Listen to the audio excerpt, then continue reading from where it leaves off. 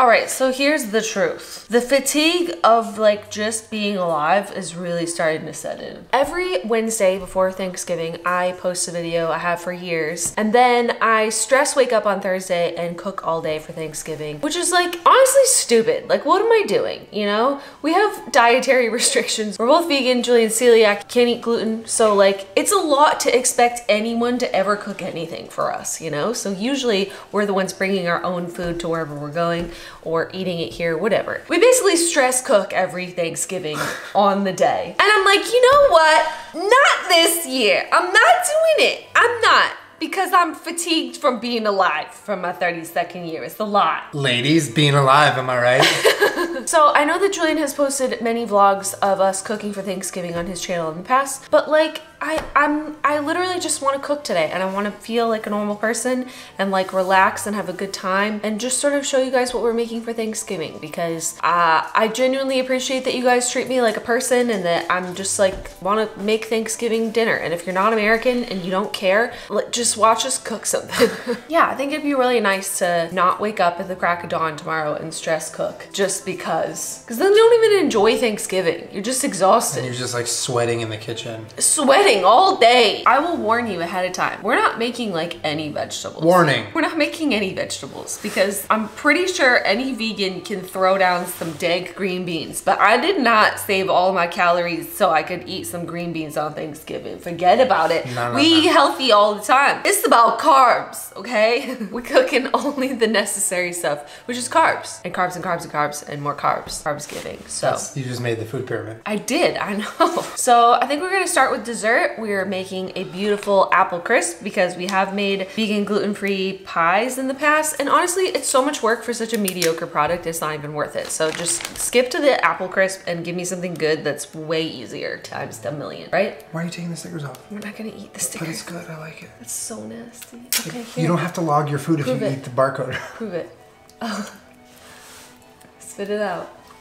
I see them in your tongue. All right, so we're gonna be cooking two pounds of Granny Smith apples. We have to like peel them, right? Yeah, we have to peel all of them and cut all of them. But Why are I'm you gonna. giving me all the stickers? I love you so much, but it's not about you. To save you all the boredom of watching us cutting and peeling apples, which is riveting, I'm just gonna go ahead and do that right now. Be right back. Trying to make an assembly line. I'd say the only thing worse than peeling apples is peeling all those potatoes. I remember last year I was like, I'm never peeling another potato again. We made a fuck ton of potatoes last time. Well, because we made them for like 10 people. We cut our apples. Uh, we're just gonna make the topping really quick. So for my celiac friends, we got some gluten-free flour. How much is that? It's 1.5 cups times 1.5. Okay, we're, You can do the math.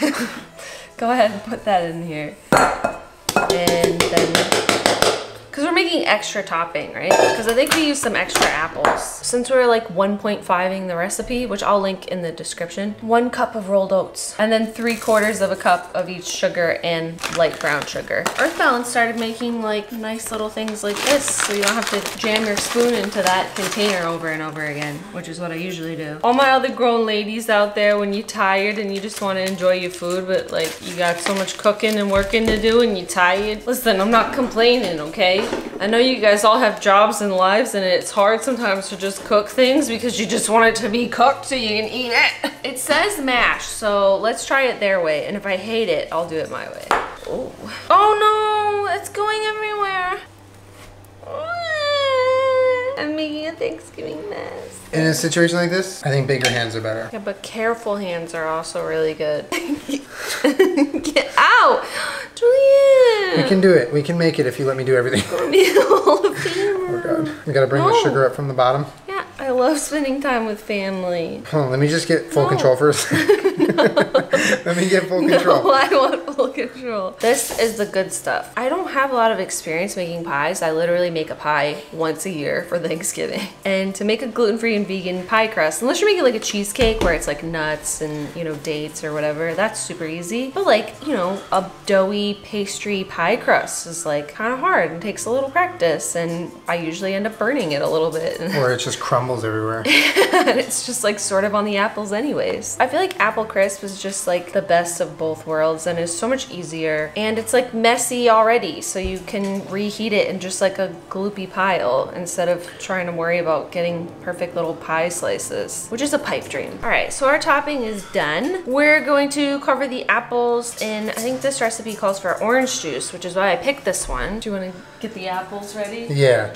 Get ready! Get ready! so, we need half a cup of orange juice. Sugar. Brown sugar, the dark brown sugar, regular brown sugar, and sugar. I already put everything in the mixture. You did? So a tablespoon and a half of cinnamon. This is a trick that I learned from Food Wishes forever ago. He says if you can, you should always grate your own fresh nutmeg because it actually makes a big difference. Doesn't that smell good? Yeah, it smells amazing. Love me some fresh nutmeg. It's a teaspoon and a half. We didn't slice them like super duper thin, but I feel like that's thin enough, right? Like what am I gonna do? Spend seven hours slicing apples super thin? Like who cares? It's gonna go in your mouth. That's a bite size for me. That's like one bite. Do you wanna taste one and see if you like the Yeah. seasoning on it? That's good. Need more cinnamon, nutmeg? I think it's perfect. So yummy. Ooh, that is a lot of nutmeg I put in there. Told you to stop. Too much cheese. Easy peasy, so much easier than a pie. Am I right, ladies? You can bring some of this to your mom, or not, because maybe it has too much nutmeg and I ruined it, and now is when I just panic about everything for no reason. I'm gonna put the topping on. This recipe by itself was a double crisp apple crisp, so I'm pretty excited, because it's the best part.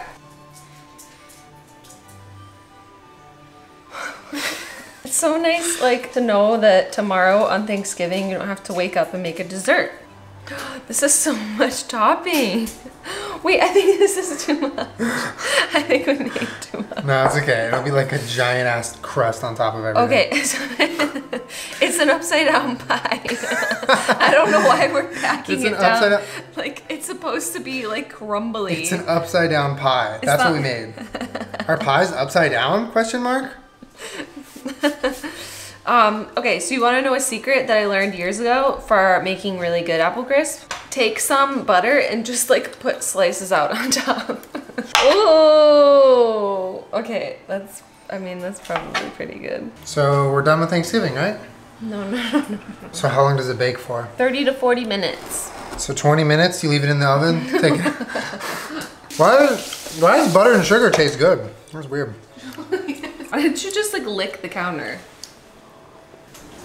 Can't wait to eat that tonight before I eat any food. What's next? We need to clean up everything from dessert. Okay, I'll put all the sugar I'm away. not gonna be able to function. I wanted to wipe the counter down, and I was like, "Let me wipe it down." He goes, "Why?" And picks it up and just put it all over this mess. You That's cover the mess with the new cutting not board. a solution to your problem.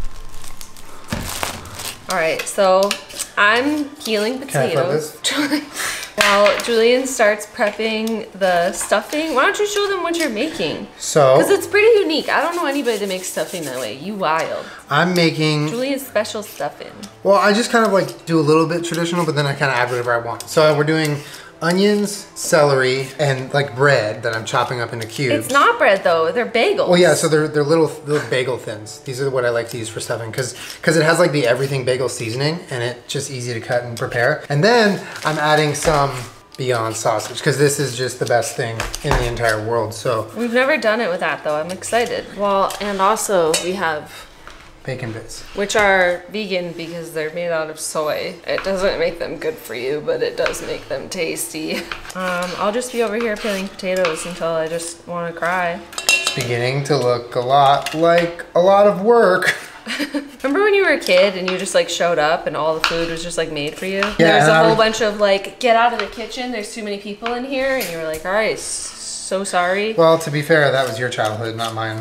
I was in the kitchen. So I have started the stuffing officially. Julien is Uh, adamant that he's not going to use a recipe. He's just going to make one up. I thought that you had to toast these, but I forgot that we're not making croutons, we're making stuffing. I'm So trusting you. you're gonna have the best stuffing you've ever had. I'm telling you. So right now I have the sausage on the pan. After that I added some onion and celery that I chopped. And so once that's done, I'm gonna put that in a bowl with all of this bread, not a bowl, that big pan with all of this bread, and then add some butter and stock and seasoning. And then that's that's how I don't even do it. know if that's how you make stuffing. Well, that's how I'm gonna make it. So So the link will not be in the description of this recipe. the link will be in my mind. There is no link. So this is the pan we're making stuffing in. So I'm going to get this butter ready. So you're gonna want to do is you want what you're gonna want to do is you take a pint glass. Oh, Julien, that's gross. I got this much butter. That should be enough, right? I keep wiping my hands on my apron. I fucking love aprons, dude. So this is the sausage, onion, and celery mixture. I'm adding it to all the bread. Oh. I'm gonna add some rosemary, thyme, and salt. Ooh, Okay. Wow. I'm gonna mix it around. So we're just gonna do like about a cup, I think. Oh, Damn, he really out here just doing whatever. Sometimes I put stock in my hydro flask when I go work out so that I'm getting salt and flavor during my so workout. disgusting. And also hydration. It's a savory Gatorade. Savorade. then I'm gonna put the butter. Or is it orange juice? Julien, it's so nasty. So you're gonna bake this at however many minutes you want, at however many degrees you want, uh, whatever oven you want, um, or you don't have to bake it at all. And last but not least, this is our protein of choice for Thanksgiving. I'd say that Julien has pretty much perfected this over the years. A lot of you might be like, oh, it's sort of like it's vegan chicken. But if you add like enough like rosemary and sage and thyme and stuff in there, it really starts to taste like turkey seasoning. So we're gonna do a bunch of the flour tonight and then just make a little bit of chicken tonight so we can show you and eat some probably. Yeah. But tomorrow morning, that'll probably be the only thing that we make is like another little batch So of it's, like, chicken. fresh. Yeah, Julien really wants it to be like fresh tomorrow for Thanksgiving. So All right, so it calls for two cups of flour, but I'm gonna triple that. So we have like an assembly line going where Jenna gets the spice ready, and I just toss it in here. But it's about half a teaspoon per spice, roughly. well, you're making a lot of. We're making a lot, flour. so we're like tripling slash quadrupling. But I'll read it what it is. It's flour, nutritional yeast, black pepper, salt, sugar, paprika, rosemary, ginger, savory, thyme, sage, dill, marjoram, onion powder, coriander, cayenne pepper, red pepper flakes. Oh my god. It says a pinch of cayenne pepper, but mm, We like to make that shit hot. If you want some spicy fried chicken, go a little ham on the cayenne. It's like a flour because you dredge them and then flour them, so it always ends up tasting like way less Toned down, spiced yeah. than you want it to be. Yeah. Plus, who's ever mad at spicy like fried chicken? Not me. All right, so our mixture looks like a whole mix of stuff, which it is, yeah. And so now salted and sugar. I didn't put salt in. So now we're gonna start mixing it around to make like the full-on seasoned mm-hmm. flour mixture. Two teaspoons of salt. Okay. All right, I'm gonna be here for a minute. To get the chicken ready to be breaded, you put it in a buttermilk mixture, buttermilk, and that's gonna come with some egg replacer, some almond milk, some apple cider vinegar. You're just gonna let the chicken sit in it. So right now I'm gonna make that. Like curdles like regular Mixture. buttermilk. Yeah, somewhere. The only thing that I really care about at Thanksgiving is something that I don't even have to make. It comes in a can and it's called cranberry sauce. My favorite part. It's in the fridge right now and I can't wait to eat her. And the most delicious part of Thanksgiving is the apple cider vinegar. Said no one ever. Actually, give me a shot of that. I won't drink it. You're disgusting. Okay, so my potatoes are finished. I'm gonna have to restart them. Um, to make vegan mashed potatoes is super easy. Just salt, almond milk, and vegan butter. So I'm just gonna do that and mash them. Potatoes are They're done. good. Mhm. Stuffing came out pretty good. It, it looks like stuffing at least. It tastes Um, really good. So then all we have to do left is fry the chicken. I'm gonna use the wet hand, dry hand method so I can fry properly. But that's it, and then we're gonna have like a little mini Thanksgiving Yeah. tonight. Well, for those of you also wondering why we don't make any gravy, I have in years past made like a nice mushroom gravy, but like I What literally gravy? like forgot about it on the counter.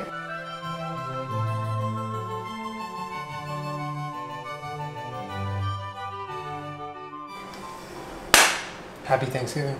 Happy Thanksgiving. We'll have a mini Thanksgiving right now, and then we'll have a good one tomorrow. Yeah, mini Thanksgiving now and real one tomorrow. I think.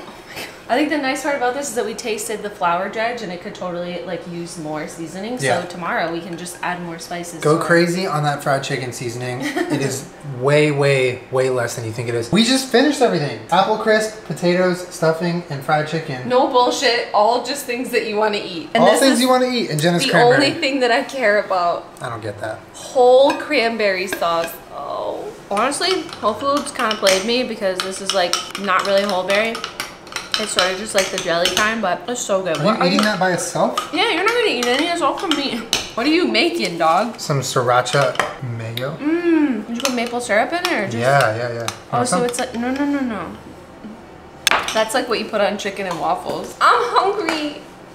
And there you have it. A nice vegan gluten-free Thanksgiving meal with absolutely no vegetables because today's not the day. Every other day is the day for that. But today, mm-mm. I like pepper on my mashed potatoes. The sausage and the stuffing is insane. It's good, right? That shouldn't be allowed. That shouldn't be allowed. Oh my god. It's not rude to eat with your hands if you made it and it's in your house. That's a fact. That is so good. It is really good. And we don't have to cook tomorrow. We get to roll out of bed, be in our pajamas, do whatever we want, and eat our food. For the first time ever, I don't have to stress cook. I was saying I've literally never cooked on a Wednesday to where Thursday was just like We you don't have to do anything. Have a good time. Well, like it's always gonna, like wake up and cook. Yeah, we're gonna cook a little bit. But we don't have to like wake up super early and get everything done by 12 so we can go somewhere, you know? And the, honestly, a cool part is that we got to share like what we actually did for Thanksgiving with you guys in time for Thanksgiving, not like after the fact. Yeah. And I know a lot of you guys are like curious about what we eat. Same thing as you do, just a version that I like. Plus, like, this is a lot of work and effort and like years of trial and error. I would never expect someone to like cook this for us, so it, that's why we always cook and bring it wherever we're. like, Exactly. don't worry about us. We'll we'll BYOF. We're gonna have some coconut. Coconut vanilla- bliss. Ooh, that's what the crisp is looking like. Apple crisp me mummy. How is it? Oh, it's so good. Is it good? It's hot. Be careful. No, no, no, no. Julien, it's steaming. It's so good. It's God like damn. all the best parts of a pie without Without having- any of the stress of the crust. Yeah, but it's like crunchy and tasty and like all the stuff that you like about an apple pie. A little heavy on the nutmeg. I love how that recipe seems so ridiculous with the crisp, but like every time I've ever made apple crisp, I'm like, I wish I had double this crispy stuff on top. That's what makes it so naughty and not good for you. Mm-hmm. Give it to me. Wow. Oh, too hot. You always preach to me not not to eat before it's cool enough. I have a sensitive mouth. Well, there you go. That's like what we make for Thanksgiving. My mouth is burned. Well, now we can sleep in tomorrow, which I'm so excited about. And I hope that you guys have a really lovely Thanksgiving. Hope you get to spend time with your family and your friends. But yeah, I hope you liked watching uh, what we make for Thanksgiving. This was really nice. And now we can actually have a nice little day off tomorrow and enjoy ourselves. My day off. Day off. Make sure you subscribe to my channel. I put out new videos every Wednesday slash Thursday. That's so uncalled for. And thank you for letting me make a video of just like real life because it's really nice. Just a 32 year old lady.